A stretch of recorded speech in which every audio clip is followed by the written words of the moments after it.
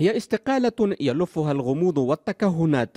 وزير المالية سهر الرئيس رجب طيب أردوغان برات البيرق ومن دون مقدمات.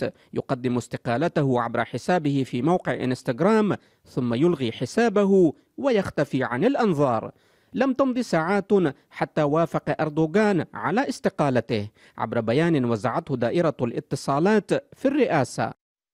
البيرق الذي كان يرافق الرئيس أردوغان في جميع رحلاته الداخلية والخارجية تقريبا يغيب أو يغيب فجأة عن المشهد الاقتصادي والسياسي. في توقيت حساس تعاني فيه الليرة التركية هبوطا متواصلا أمام الدولار الذي سبق وأشار البيرق إلى أن أمره لا يهمه ما أثار امتعاض المعارضة التي طالبت باستقالته على مدار عامين متتاليين.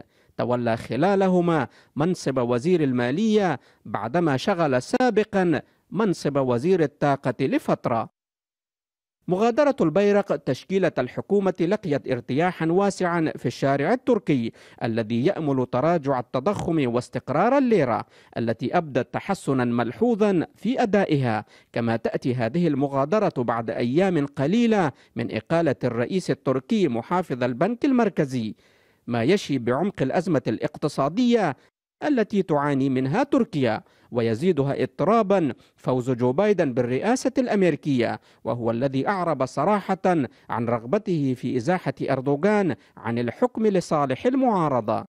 استقالة البيرق ومن قبلها إقالة محافظ البنك المركزي حدثان يسلطان الأضواء على حالة تململ داخل حزب العدالة والتنمية الحاكم وربما على صراع أجنحة قد يظهر المزيد من الدلائل عليه في المقبل من الأيام.